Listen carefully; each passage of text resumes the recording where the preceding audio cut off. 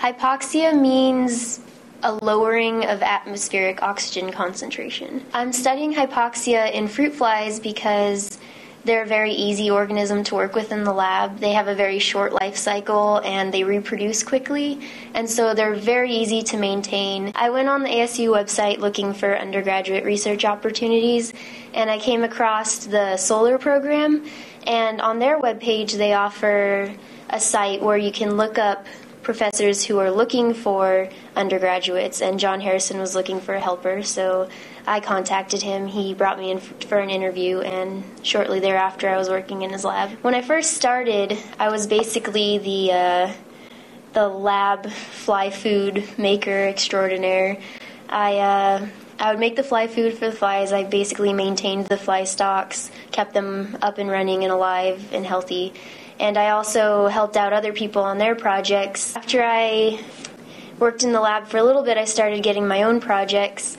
The first thing I did was to look at specific stages during a fly's development where the body size reduction response is taking place.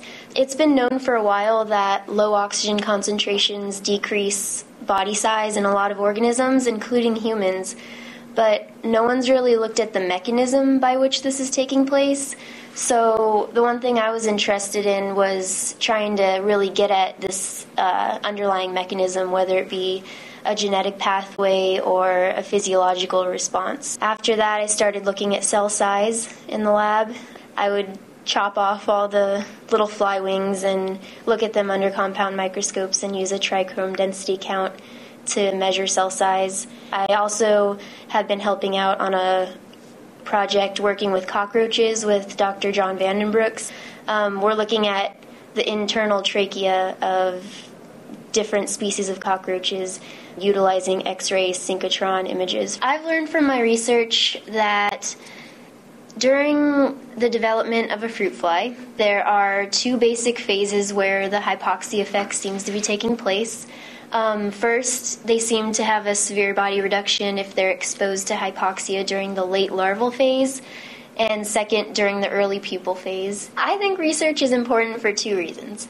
First, there's so many questions that we can ask about the world around us, and second, because there's a lot of things that if we knew more about, we could apply that to creating solutions for problems we have as humans.